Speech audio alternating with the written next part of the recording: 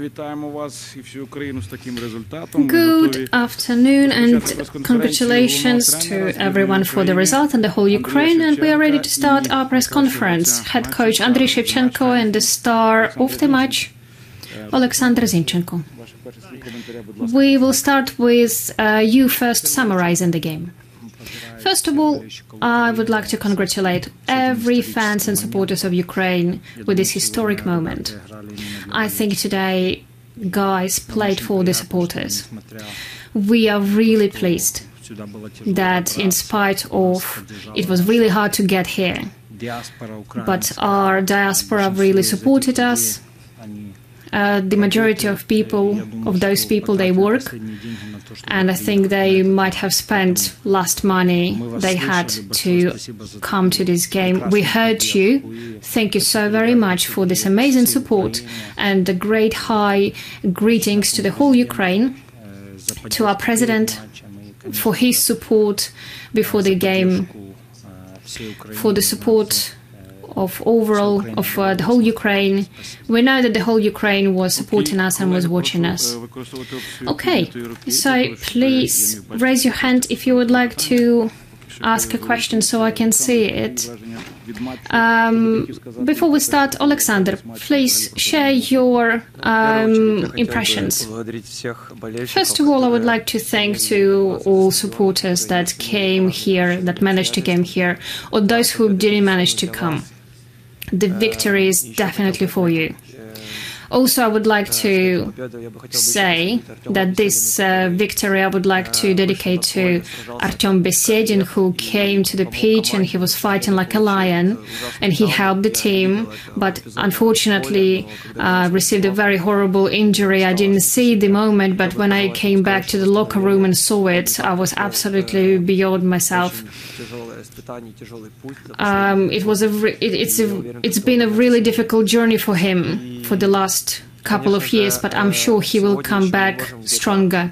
Of course, also today we can celebrate this achievement because we are writing a history and the whole country deserves it. Uh, with the support that they gave us, the whole uh, coaching team, they gave us the plan and tactics for the team, and the, the team, we all deserved it. We managed to achieve all the ideas that we have in reality. But from tomorrow, I would like to, um, and everyone knows that it's not the end. We need to think about the next game. Uh, the most difficult uh, uh, rival that we opponent that we're going to have, and considered to be one of the strongest teams in the world. And we will try to do obviously anything we can to achieve the result that we need in the next game.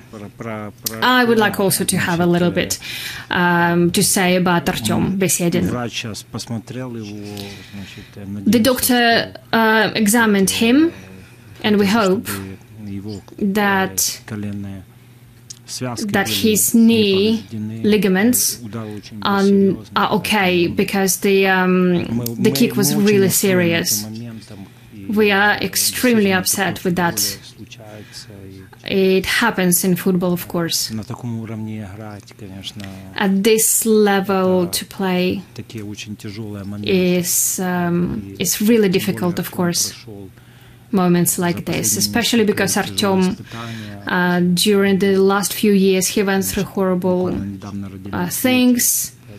He very recently also had a newly born and we all support him and we will play against England for him. The question from Albert Shevelenko, please ask your question. If you can use your video, please do that. Good evening. Э, First of all, I would like to congratulate you to this amazing victory. Thank you very much for this great game and for this uh, victory. I have two questions. The first one Sweden is an opponent that plays the game itself and they allow others to play. And Ukrainian is the same, and England will be the same kind of um, opponent.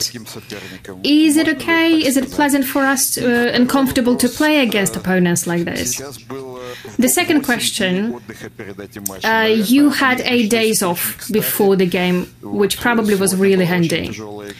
It was really hard today, this game. 120 or even 30 minutes, probably.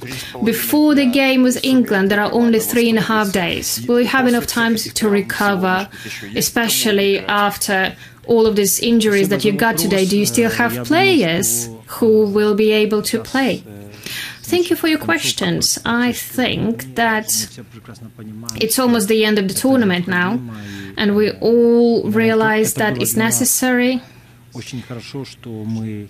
Yes, for us it was really good that we had uh, quite a lot of time to get ready for the game. Obviously, now we will not have enough time. We will try to recover our players, first of all physically, but also psychologically, because they gave their all. So now we will be recovering. With regards to the game today, Yes, the Swedish team is a very well organized team, and as I said before, uh, before the game, they have um, their own style. It is a team that likes to play uh, more maybe on the second row, and our task for today was to protect our um, sides and to work in these zones where Swedish footballers might be uh, might have an advantage. That's why we decided to completely change our strategy and tactics. And I'm really grateful uh, to my footballers that they did everything absolutely perfectly. Uh, do you still have players after all of this? Injuries. We have so many emotions now after the game, and doctors were really taking care of Besedin first of all, because we needed to find out what state status he's in. Tomorrow morning, we will know more with regards to the state of other footballers. But of course, it was a really hard game. A lot of crashes, especially towards the end everyone understood that you know the price at the end was was great and no one wanted to give up. That's why so many crashes. Emmanuel Bojan Ekip, please ask a question. Yes, um, congratulations to you both. My question is for Mr. Zinchenko. Um, to whom was dedicated dedicating your celebration with your finger on your mouth after your goal? And did you like playing in this position today?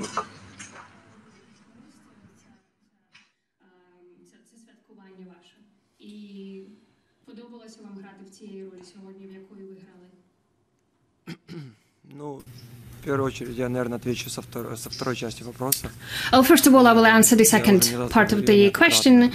I said several times before, it doesn't matter what team you play for, but if you are part of a team, you have to help at any position that your coach sees you. You have to give your all.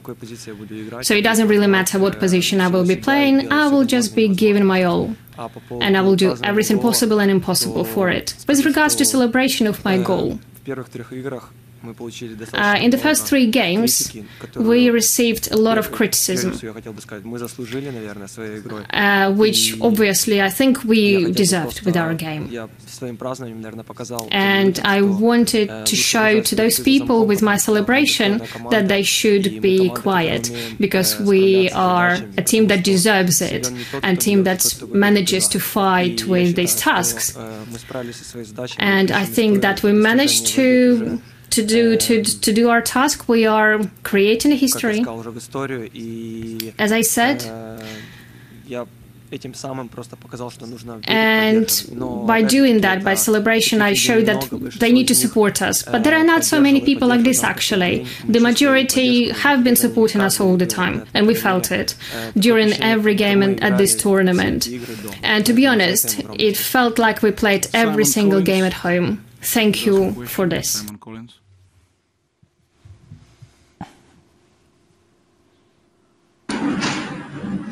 Yes, Simon. Hi. Um, just a question for a question for both of you. Um, how much belief has this result given you that you can create history by by knocking out England?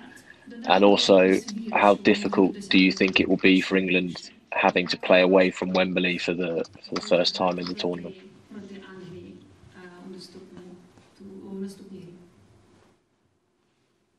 Но прежде всего для того, чтобы добиться этого результата, надо иметь веру. So first of all, to achieve a result like this, we need to believe. We needed to believe. We needed to believe. We needed to be strong. And uh, players showed it today at the pitch. The English team is a great. It's a great team. They have a great uh, substitute bench as well. I watched today the first half. They are extremely strong. I know it very well. Great coach as well that they have. We understand how tough this game will be. Um, now we just need to recover. And from tom- starting to, from tomorrow, we will start our preparation. We will try. We will try something that will give us a, a positive result at the end. I will say that I watched pretty much all the all the uh, games that England played, except today's because we were getting ready for our game. The first thing that I noticed is, first of all, uh, I I know quite a lot of those players personally because I see them in the Premier League, and I would like to say that it's really difficult to score to England. They organized really well. They have a really good set of uh, footballers. And the substitute bench probably cost as three Ukrainian teams. This shouldn't be really scary for us, but they should motivate us. And we need to give ourselves the highest aims, the highest goals, and I'm sure that the coaching team will get the strategy for us, and we will need to realize that. And I, I've sensed it um, myself that everything is possible in this life, and we will do everything we can for it. Andrei Todos, please, your question. Uh, congratulations to your victory today. So, your plans for the next couple of days? Are you, are you gonna stay in Glasgow or are you gonna leave? Uh, tomorrow we are flying to Rome. We will have a um, training there uh, at 4 p.m. I think is our flight. Do you have any more questions, Andrei? No, okay. So Last question. Simon Bird, Daily Mirror. Yeah. Hi, Simon. Hello, can you hear me? Hi there. Can I ask Oleg how he feels about playing against Raheem Sterling, his club teammate, and what qualities he has that he admires because he scored so many goals at the Euros?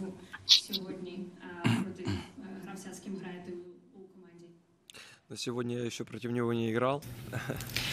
Um, well, I haven't really played today against him uh, because he, yeah, he's playing for England.